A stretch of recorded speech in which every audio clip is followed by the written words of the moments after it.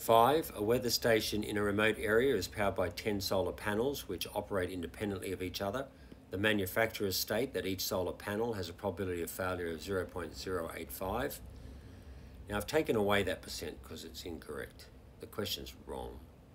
Uh, the, the solution doesn't match the question, so we're changing the question. In any given week, the weather station needs at least six of the solar panels to be working in order to function. A, find the probability that the weather station will not fail in a week. So for 5A, the probability of failure is 0.085, which we have from here. Therefore, the probability of not failure is 1 minus that. So X is distributed binomially. There's 10 solar panels. Uh, at, it says here the weather station needs at least six of the solar panels to be working in order to function. So that means we need 6, 7, 8, 9, or 10. So because this is not fail, the range of x here is uh, greater than or equal to 6, less than or equal to 10. All right, and so we have that using the GDC uh, CDF, and we put it in like that. So in the Nspire, we put the 10 comma with this probability here, and then from 6 to 10, and that would be the answer there, which is 0 0.9992242978001, which is 0.999 to three significant figures. B. The weather station is inspected and any necessary maintenance is carried out every six weeks.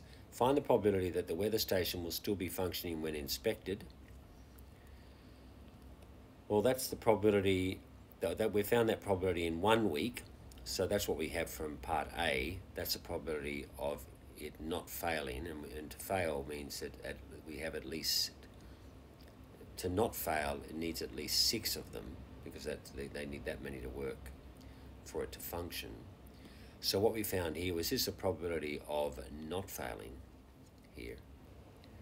And now we want to know the find the probability that the weather station will still be functioning when inspected and the inspections carried out every six weeks so if this is the probability of not failing in one week, then the probability of not fail, fail excuse me, the probability of not failing in six weeks is that number, that probability times itself six times, or to the power of six, and that's 0.9953548031886, which is 0.995 to three significant figures.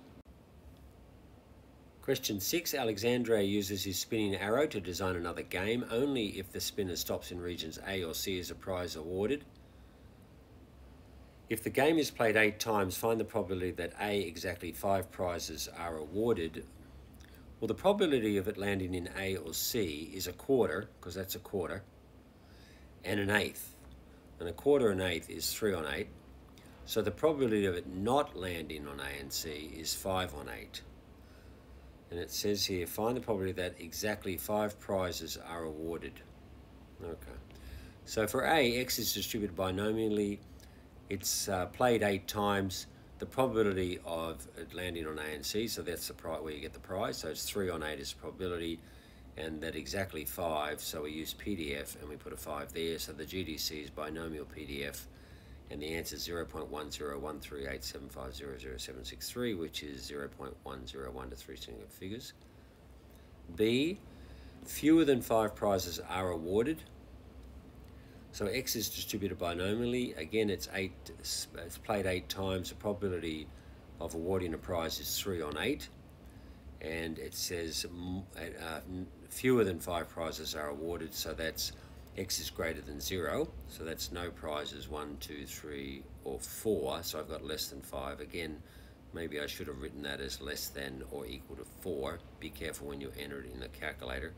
So in the GDC binomial CDF, you should put in, for the Nspire 8, 3 on 8, remember it's CDF, from 0 to 4, and on the uh, 84, do this, this, and put this as 0 less than equal to x less than equal to 4 and you'll get 0.8625909686009, and that's 0.863 to three significant figures.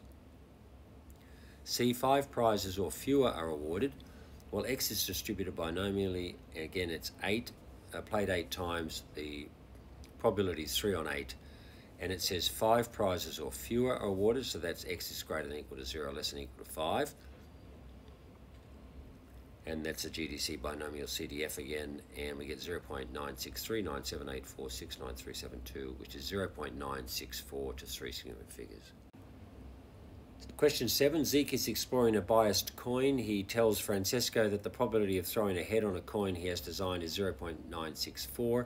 However, the probability of throwing exactly four heads with this coin in five trials is approximately the same as the probability of the same event but with a fair coin. Now that's really interesting. Francesco does not believe this is true. Demonstrate that Zeke is correct.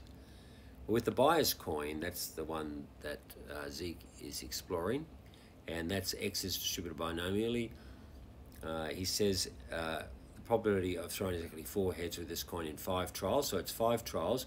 His bias coin has that probability of getting a head, and the question was uh, to get ahead, so that's good. So that's of getting ahead and the probability of getting exactly four heads. So we use GDC binomial PDF.